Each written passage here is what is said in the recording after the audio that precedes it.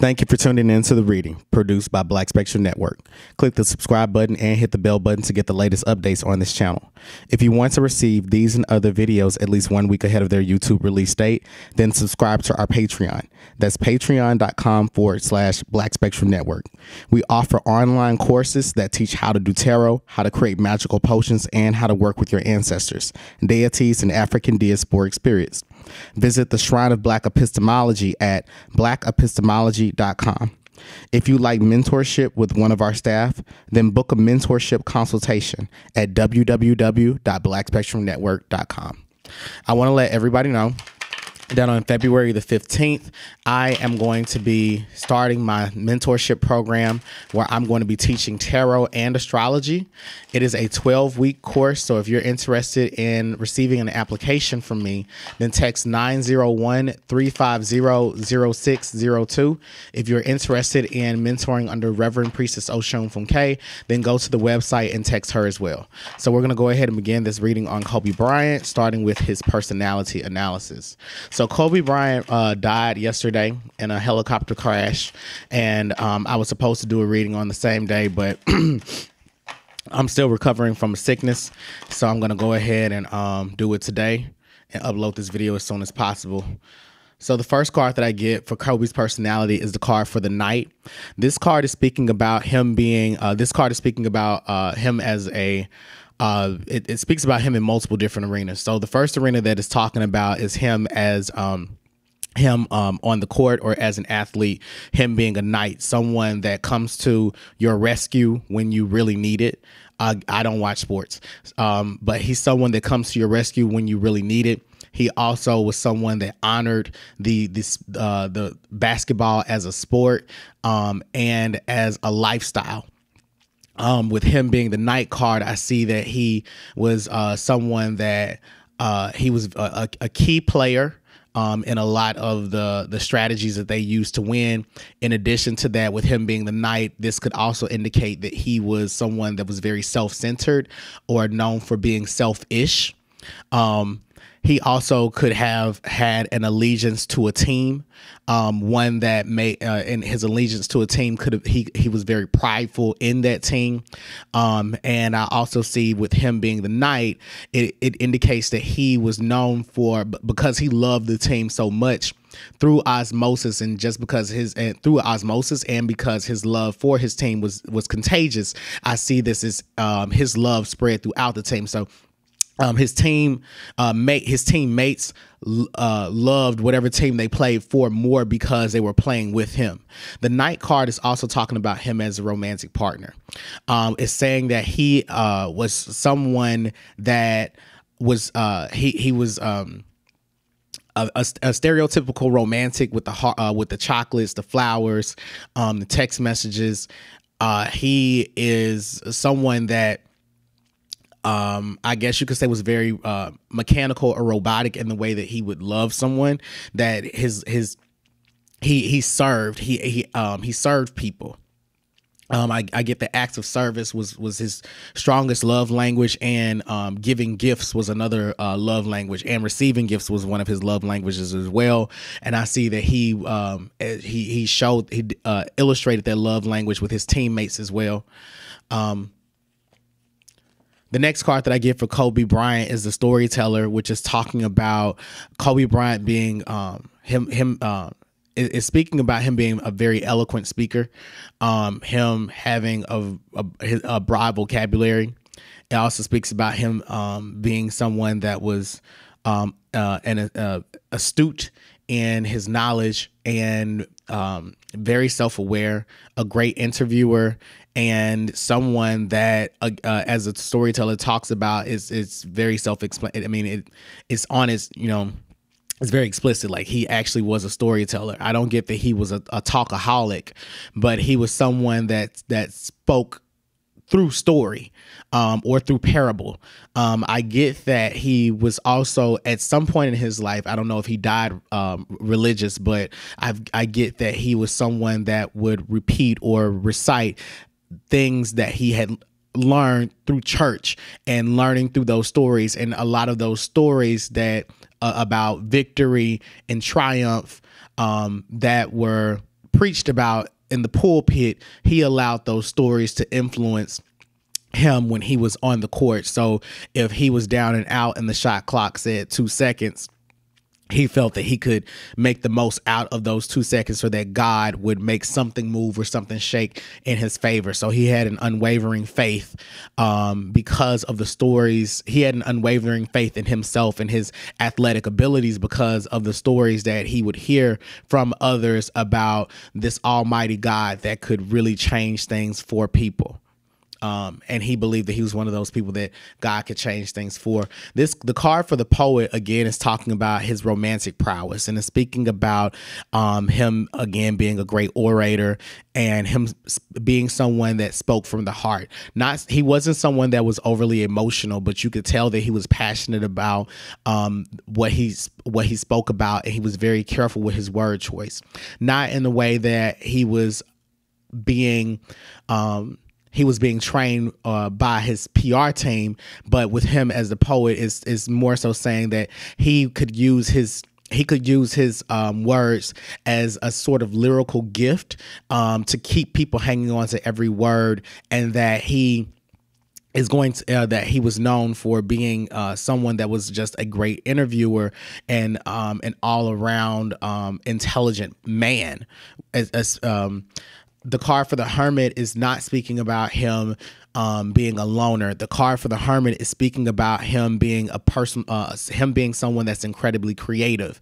He, I get that that he practiced alone a lot, and I get that he would watch um, he would watch himself play over and over and try to figure out what his strengths and weaknesses were so that he could better himself on the court. With him as the um uh, as a hermit card here it speaks about him um, focusing on solitude so that he could download receive spiritual downloads that would tell him how to improve upon these other areas of his life now, um, the Hermit card is a powerful card for an athlete, being that he's someone that's in the public eye, but he would still take time out to um, he would still take time to himself to just be alone, to to meditate, and to allow for spirit to really guide him in uh, to, to to to truly guide him.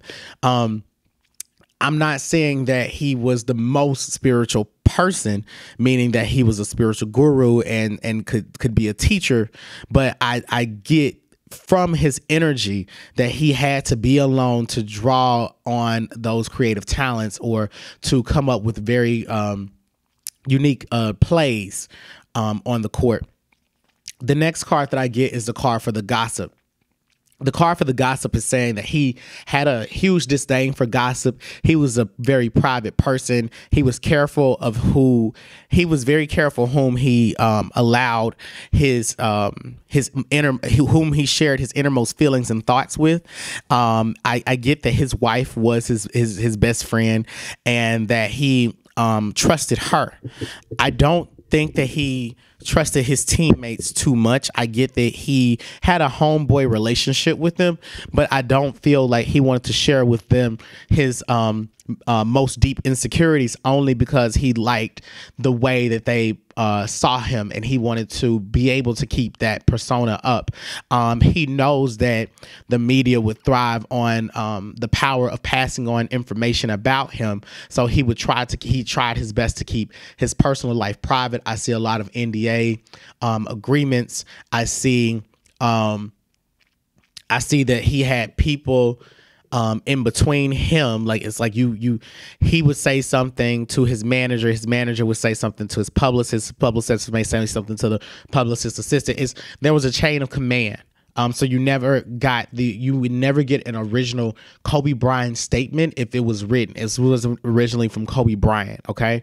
Um, I also get that he he does he doesn't like to share um, a lot about his personal life, such as if he would have written an autobiography, he would have been very. Um, it would have been contrived. The card for the king shows up, which is talking about him as a leader. This speaks about him as a leader um, amongst his team and saying that he um, he did a lot for them in terms of. Uh, in terms of uh, helping them to provide them with fame, um, helping them to negotiate their contracts. I see him helping younger players as well. Um, and when it talks about benevolent leadership with the King card, it's speaking about him being a, a, an older brother to the an older brother to the team. And even um, nearing his retirement, I get that he was mentoring newer players. And even now, I, I get that there are people I get that there are some people that he he was known for mentoring. Um, I, I, I don't get that he was someone that wanted to um, keep his knowledge to himself. The card for the damsel is saying that he was attracted to situations where people had to rely on him and see him as a knight. Um, it, it he was someone that was very independent.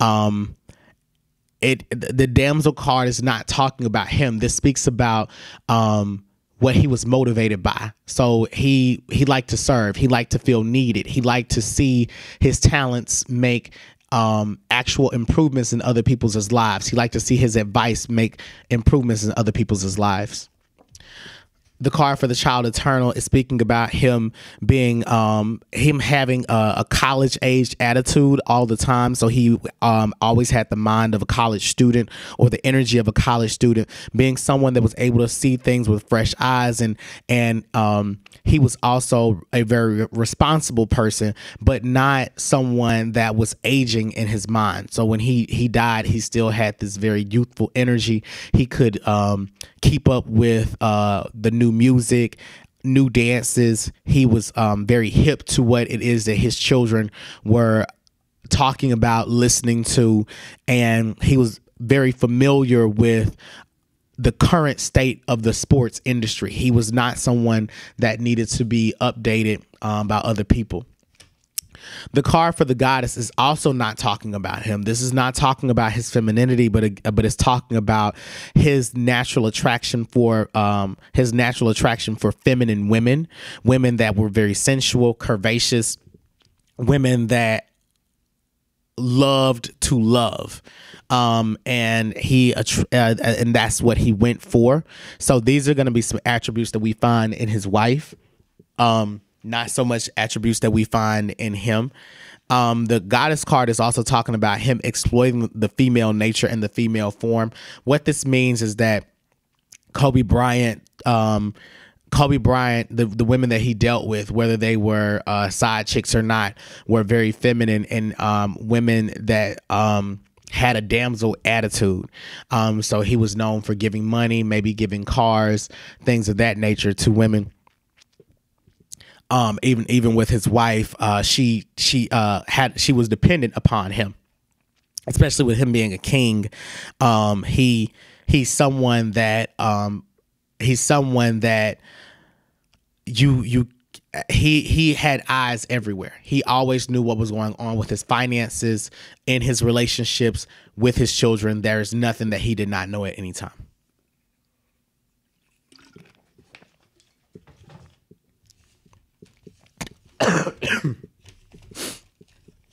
All right. Excuse me. All right.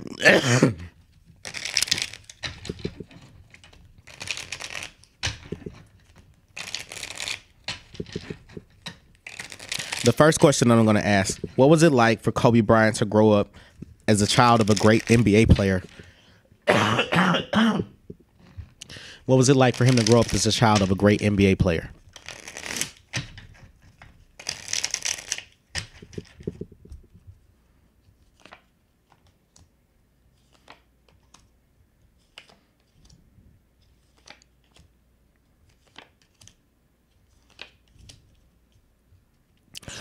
All right, so what I can see from the arithmetic of these cards, um, he was inspired from he was inspired from his father's uh, career. Um, and he was he was happy incredibly happy to be the child of a great nba player. Um, i get that now, now this is something I don't know for a fact, but I'm getting, I'm hearing that it's if you're a child of a great NBA player, it's hard for you to live up to those standards. But if you're the child of an okay NBA player, it's more likely that you'll be great. Um, maybe Kobe Bryant is an anomaly in that regard, but um, his ta- his talents aren't through his father. His talents are actually through his mother's bloodline. Is what the cards are showing. Um, I get from this that um, Kobe Bryant was Kobe Bryant was uh, Kobe Bryant was a prodigy. Like at a very young age, he he expressed a, um, a lot of um, uh, physical dexterity. Um, and um, I get that he was very fast um, very intelligent. Um, I get that he played a lot of uh, he played with puzzles too, or he played puzzle oriented games. He um, like like chess. So, and I, I I get that he did those things with his father. He also watched his father play on the court. Uh, he watched a lot of sports, and I just see I just see here that he was someone that said to himself, if I ever when if or when I ever have the time to get on the court, this is what I'm going to do. You know, I'm going to make this play. If someone does this to me, I'm going to maneuver in this way and um, guard myself or trip them up. I get that he studied as much as he could. He he really he he studied this sport as though it was a science, and he also studied it historically. He studied the rules and trying to figure out how it was that you could bend them. Um, what I'm receiving, the information I'm receiving from these cars is that he he had a um a destiny that was uh that was that that was going to happen. Um, anyway. It's like there are a lot of people that are born that could be great NBA players, but um, his destiny was meant to happen. So um, I get from him the energy of a prodigy. But especially with this Empress, card here in the House of Organization, this is what's telling me that it was through his through his mother's uh, bloodline that he is guaranteed his success. His father may have given him a skill set, but his ability to refine it, to use it, to master it, to make it profitable, that comes through his mother.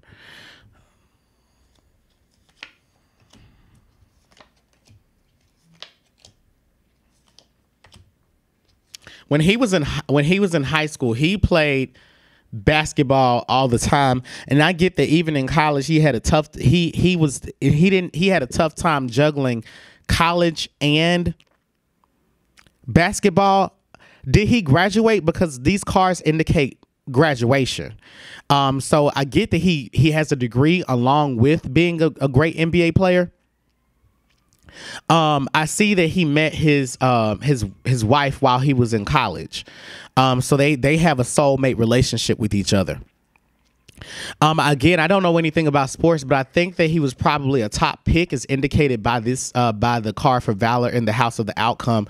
Um, but for him growing up, it was his mother that told him that he would be great, and and he gleaned from her.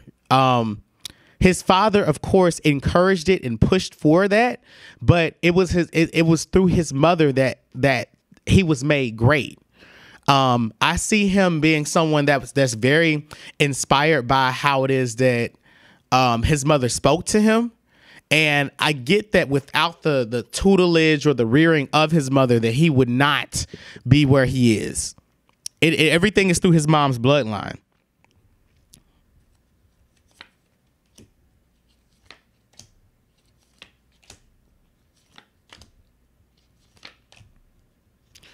These cars are saying that he wanted to he wanted to he wanted to be pushed to become who he was um I don't get a Joe Jackson vibe from either of his parents, but he had he worked himself like his conscience is is is so um was almost patronizing towards him in a Joe Jackson sort of way.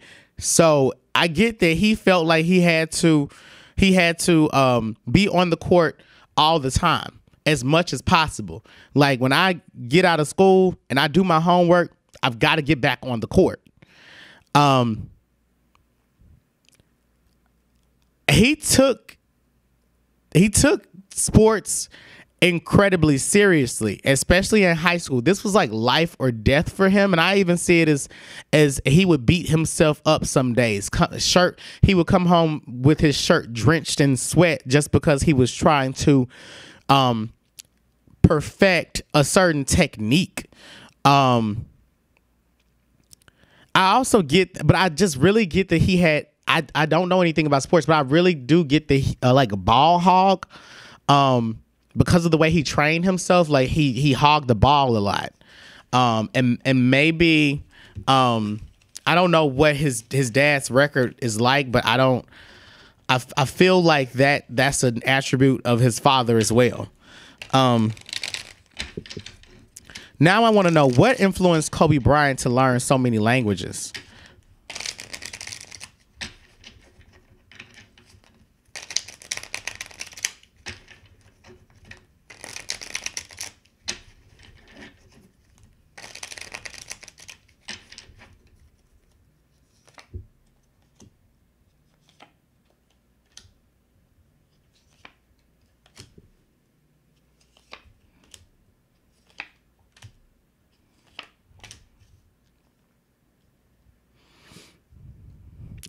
Um, what this is saying is that um, uh, I get that he wanted to do international business, and I also get that he had a knack for traveling. He felt like he felt like he couldn't. He felt like there were people always communicating around him or above him. I get that he was someone that felt like he had to learn the language of finance first or the language of money and then learn um, um, the layman's language, you know, the uh, everyday language. Like first, let me become financially literate and then learn layman's language, and I can do international business. I get that he did it because he wanted not only because he wanted to stand out, because um, he felt like it was a wise thing. It was a wise decision for him to make in regards to being able to collaborate with people. Um, I get that he wanted to have money from inter- through international endorsements as well. Um, and I, and I see that uh, with the car for gain here in the House of Hidden Advantages, he felt like with each and each language that he learned, it it doubled his earning potential and that's very true because the car for success is, success is what follows as his outcome. With, with the um, house in his house of the greatest spiritual challenges, it indicates like um, mental restrictions. So for some reason, he felt like without him knowing um, other people's languages, he he was going to be restricted um, as a businessman. And this is him doing research into those languages. Um, these cars, these cars are saying that um, these cars are saying that um, he used these languages to to read um, old text as well. So he was also reading books um, and studying different forms of spirituality. So I wouldn't be surprised if he read, um, like if he, for example, he knew Turkish, and then he read um, a Turkish translation of the Bible. You know what I mean? Um, he was someone that just enjoyed knowledge and was a connoisseur of like an anthropological connoisseur of culture. Um, a, the the core reason as to why he wanted to learn these languages was because he was interested on another level, it it would help him to become a better businessman, and the sorts of endorsements that he could receive because he knew these languages would be different and help and and unique. Um, I just get that he wanted to he wanted to carve out his own lane, um, and this is what's coming to me. It's also that he wanted to appear to be um, when I say unique, he wanted and this has to do with his his blackness, where he didn't want um, he didn't he he wanted he he he he knew that white people like white Americans only know English typically. And so he felt that he was a cut above the white American financially and educationally and linguistically because of that as well Um, so I, I I get that there was a slight superiority complex that he had. too.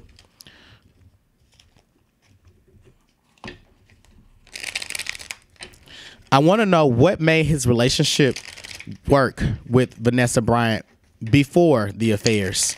Now, I know this question assumes that you know he wasn't cheating from the beginning, but the cards will tell us if he was cheating from the beginning of the relationship.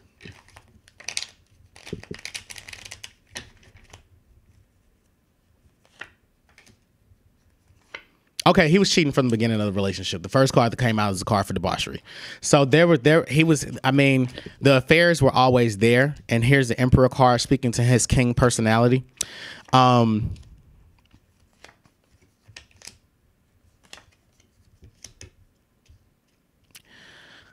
what I mean, what made things work were were that he he provided for the he provided uh, for for uh, his his his wife or girlfriend at the time.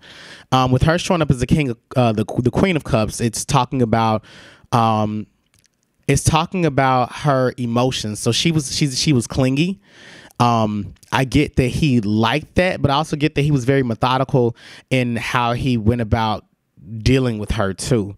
So um, I get that what made their relationship work.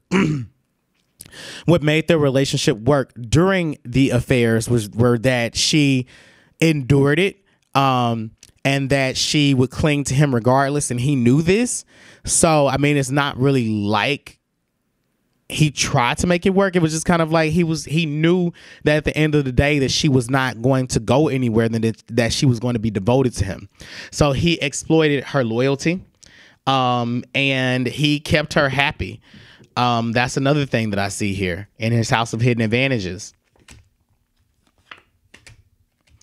Um, there was nothing that was gonna uh, get her to to break up with him, so they were gonna make it work regardless. Especially because um, the Emperor card is here in this this um, House of Personal Truth and Inner Answers, and right now this is screaming to me to be a millionaire card. So it it's about the fact that he was cheating on her. I mean, if they were college sweet college sweethearts. He was cheating on her. She he got into the draft. I mean, and then she's kind of like she hit the lick. But I I don't get that he felt the need to stop the affairs. I I don't I don't I don't see anything in these cards indicating a will to stop. The card for sorrow here in the best path to take is only telling me that um she could cry tears and she could um complain about it, but when you stay, it you know it's like at the end of the day, she's just she she continued to stay. That's the thing, and he he knew that she wasn't going to go anywhere, and I and I get that he wasn't going to allow her to go anywhere either, regardless of him having the affairs. So now I want to know after the affairs became public, what made their relationship work.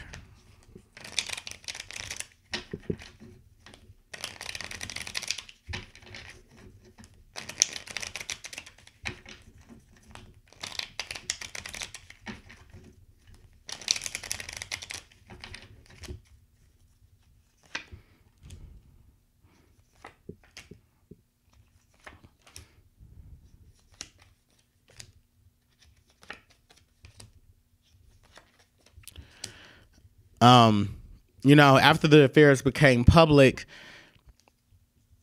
it's like there was a re-engagement in the relationship. Um, he re-engaged the relationship. He um, promised to have more children with her, um, but the the affairs never stopped. Um, I get that they went through a um I get I do get they went through a, a series of counseling sessions um at after the affairs became public. Um there was a pause you know at some point where he was monogamous but um just I I see here that I just see here that this is a part of this is just a natural part of the karma that he was always he always wanted more. He was always seeking more. He he wanted what he had and then he wanted more. For her, I I don't get that she I don't get that she was always faithful herself either. I don't get that she just took it. I don't get that she just uh, uh, uh she just allowed him to just step out. I do get that she had her fun as well when she could, but she tried her best to remain loyal. But the thing is is that they are best friends. Um and I think that they were very open with each other.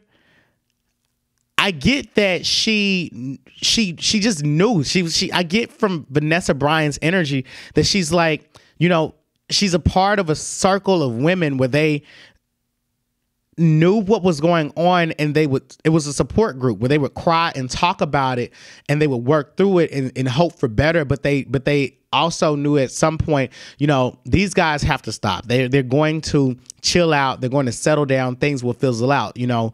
Um they're you know they're going to run out of steam or they're going to run out of cum at some point in their lives.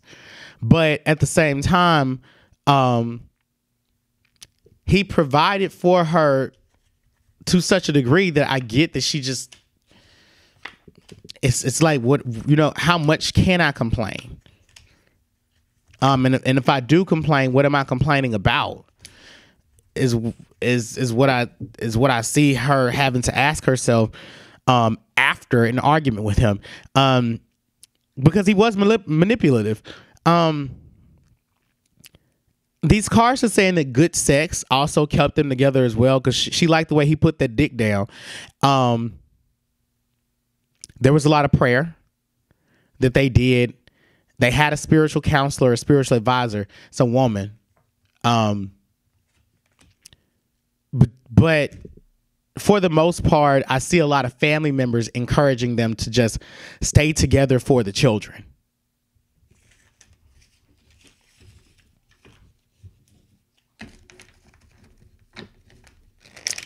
I want to know did Kobe Bryant and Shaquille O'Neal make up?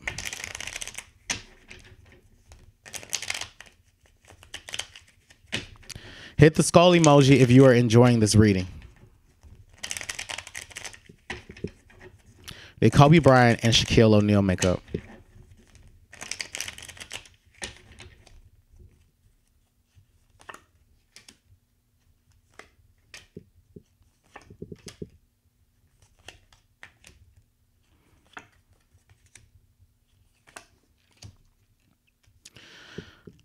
Yes, they did. Um, I don't know why they fell out. I don't. I don't. I don't keep up with sports. Okay, but um, it, it yes they did, and it was it was um.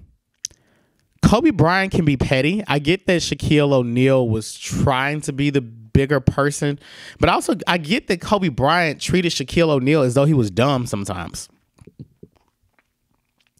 Um, I get that Kobe could Kobe was perhaps a, a, a much more quick witted and a, um and could think more quickly on his feet as as far as conversation goes. I get a, a slower energy from Shaquille, but not like a slow person. Like I, I, I, get I get intelligence from both of them, but one that works in different ways, uh, uh, two different ways. Um, I, I get that they had a falling out over money and over women um, as well. And I get that, and I and I, yeah, and there there is a there is there are several women that they had falling outs over, and those things um, may have shown up as uh, on the court, um, and in terms of them playing very differently. Um, with each other. I, I, I uh, and when I say playing differently, meaning that there were sometimes there was a natural synergy between the two of them, and they could synchronize plays, but then other times they were completely off. Um, I get that Kobe was Kobe has the the Kobe is the is is um I get Shaquille is is like Pinky and um, Kobe's brain the brain, but they needed one another to to work. Um, well, Shaquille needed Kobe more than Shaquille needed Kobe more than Kobe needed Shaquille, and I I know that I, I'm hearing that Kobe knew this they did make up. Um, a lot of this has to, had to do with ego and things being said. I, I get that there was a friendship between them. Um, things soured. I I mean, as they gotten older, they uh, they they have learned to uh, truly appreciate each other and to have more of a union than a friendship and the um and and to appreciate one another's legacy. Um, let me see.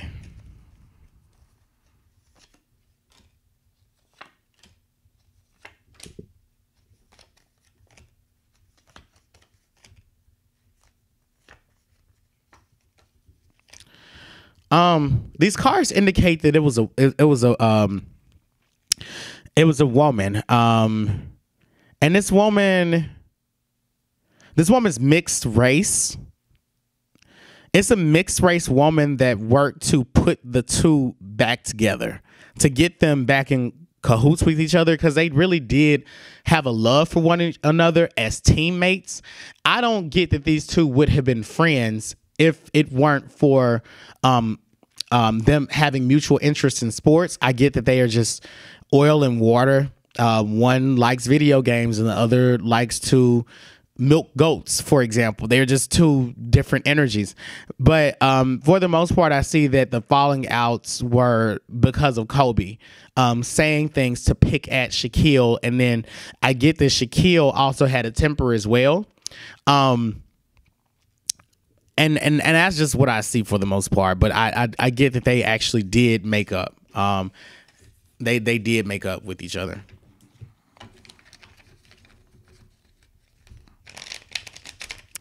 Um, uh, how did Kobe Bryant? How does Kobe Bryant view um, the NBA? Um, well, how did he view the NBA now versus when he was a player? So we're just gonna um, pull the top row of cards for um, when he was playing in the NBA. The bottom row of cards will indicate when he was um, retired.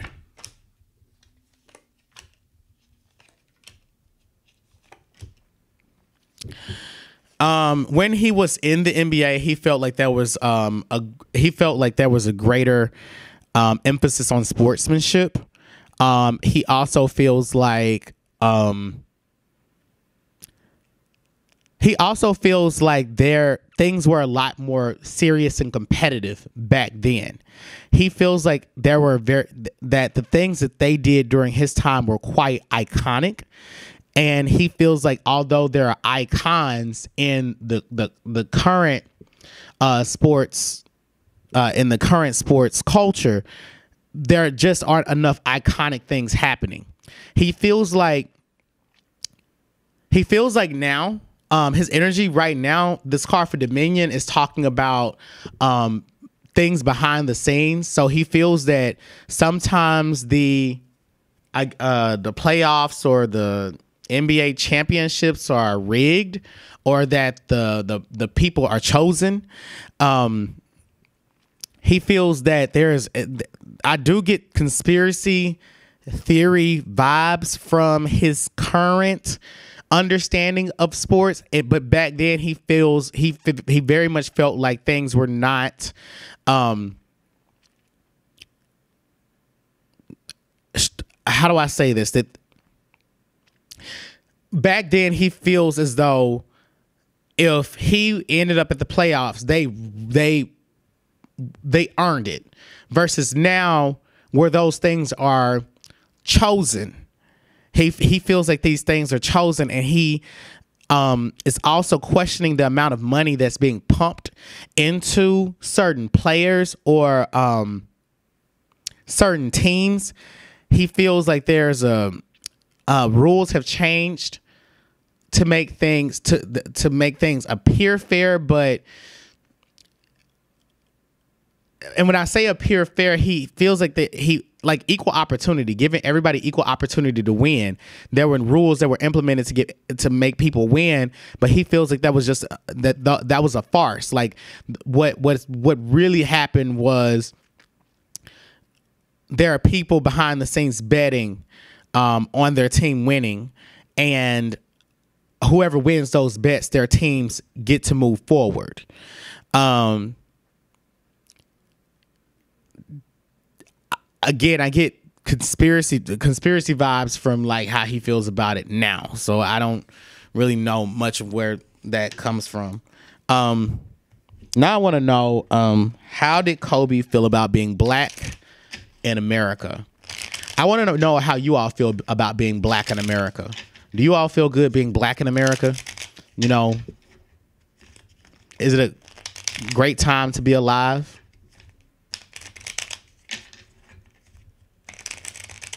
Especially with President Donald Trump as our current president.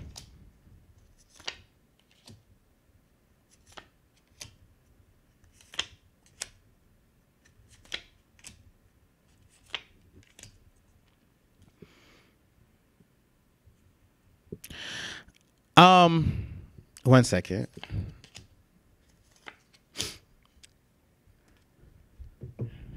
Um, he felt he feels like he was targeted because of his blackness.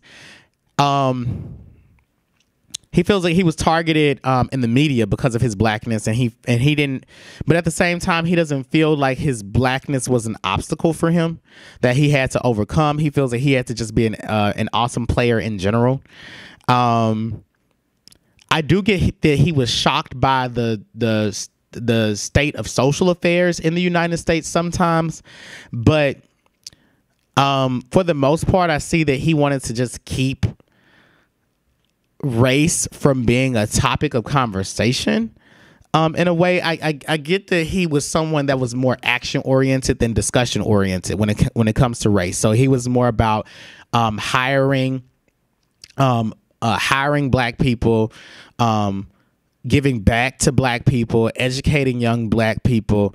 Um, I I get from I get from these cards that he submerged himself as much as he could in other cultures because he felt like he was always black and he was always in black culture. Um, and he was around black people as you know particularly his teammates but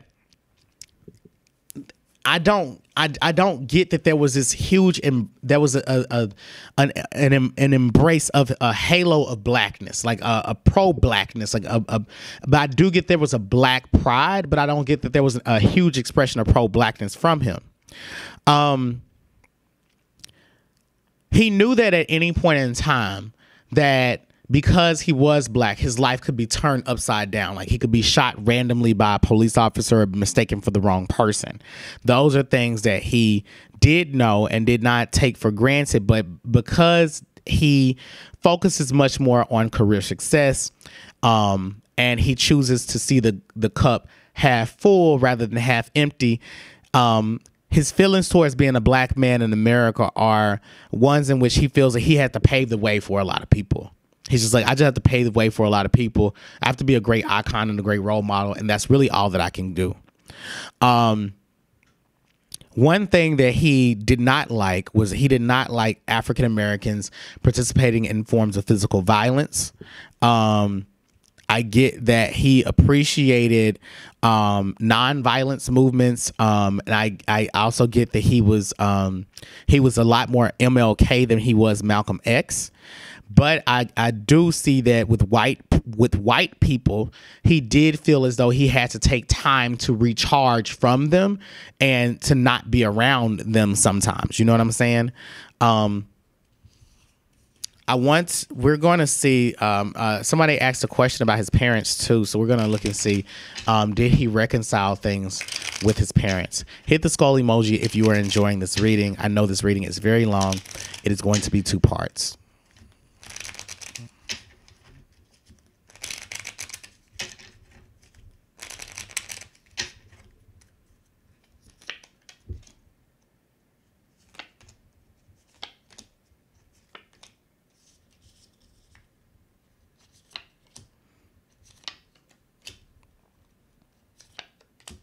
And if you're interested in enrolling in my mentorship program um, to learn how to read tarot and how to do astrology, text 901 350 0602 or send us an email and I will send you an application. All right. So, um, with he and his parents, um,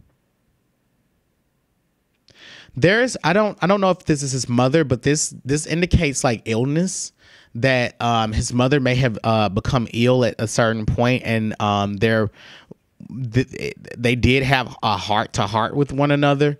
Um, I feel like he was. I, I get that um, Kobe was um, not close to his not close to his parents because of them always asking for money and um, I get that they were supportive of him, but I, I, I also get I also get that living in a two parent household where um, he didn't he felt like his parents were against him. Like if his dad said if his dad said not to do something, his mom would agree to agree with his dad, even if his dad was being a tyrant.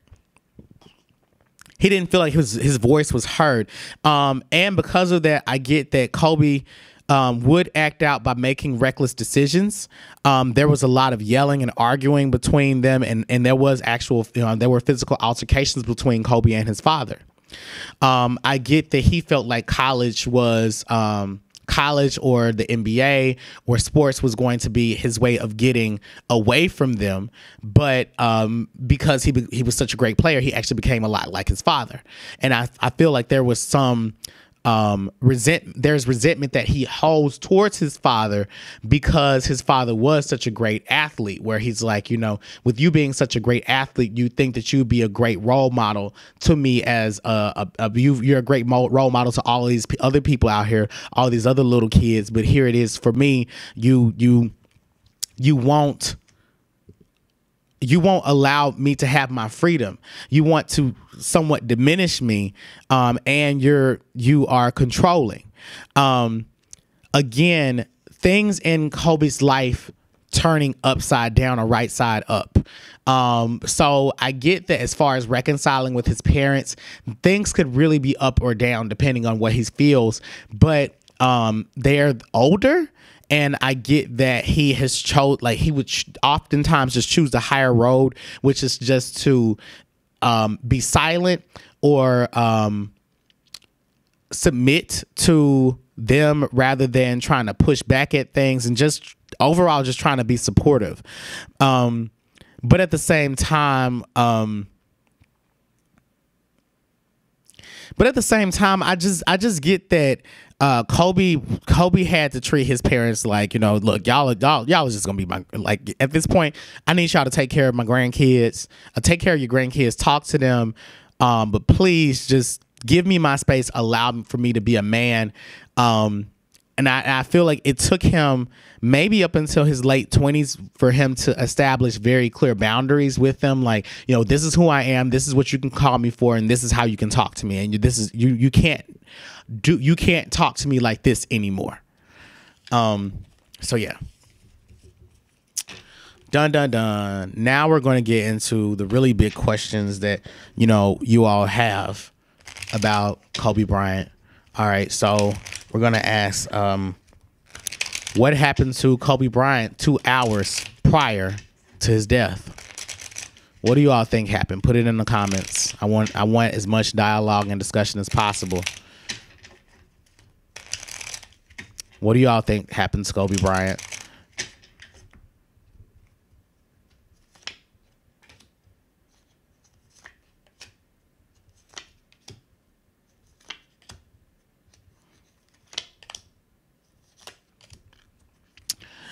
All right, so um, this is the Jesus Christ card. So fuel my fire, take me. I'll be your liar too.